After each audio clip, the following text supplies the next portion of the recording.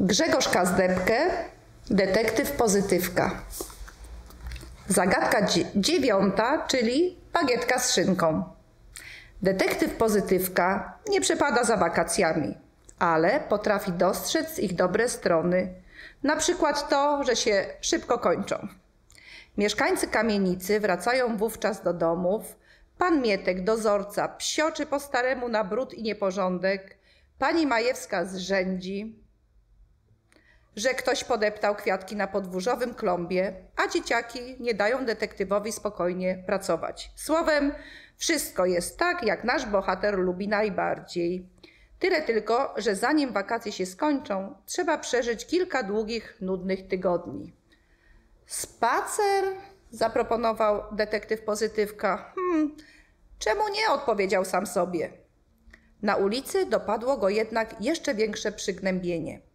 Roześmiani ludzie mijali detektywa, nie zwracając uwagi na jego skwaszoną minę. Ruszył bezmyślnie za obściskującą się parą zakochanych.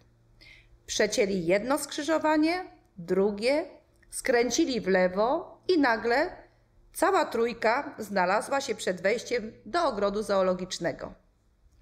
Rety, jak dawno detektyw pozytywka tu nie był – Malutkie drzewka, przy których przystawał jako brzdąc, stały się ogromnymi świerkami.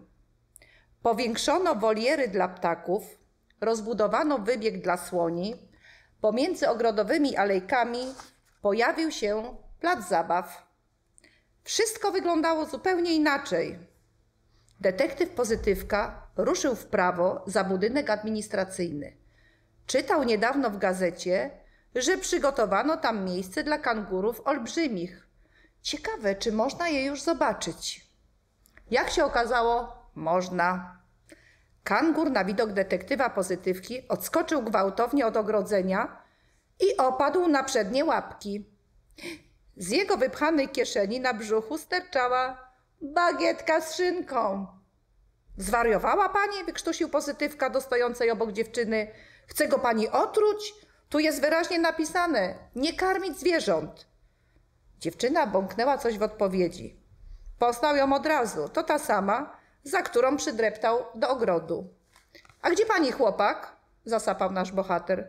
Trzeba szybko zawołać kogoś z obsługi. Nie trzeba, wymamrotała zarumieniona dziewczyna. A ja pani mówię, że trzeba, pieklił się detektyw. Ten kangur może zachorować. Może zresztą już jest chory. Proszę zobaczyć, jak się dziwnie porusza. No i rzeczywiście, kangur człapał nieporadnie w stronę wysokich traw na środku wybiegu. Bardziej przypominał teraz ociężałego niedźwiedzia niż zwinnego australijskiego torbacza. Detektywa pozytywkę dopadło nagłe podejrzenie. To nie jest prawdziwy kangur, zasapał. To pani przebrany chłopak, tak? Dziewczyna rozejrzała się trwożnie. Chce pan, żeby dzieci to usłyszały? No ale o co tu chodzi? Detektyw spiorunował ją wzrokiem. Prawdziwy przyjedzie dopiero za tydzień, westchnęła. Transport się opóźnił. A dyrekcja zoo uznała, że zwiedzający będą zawiedzeni. No i stąd ta maskarada.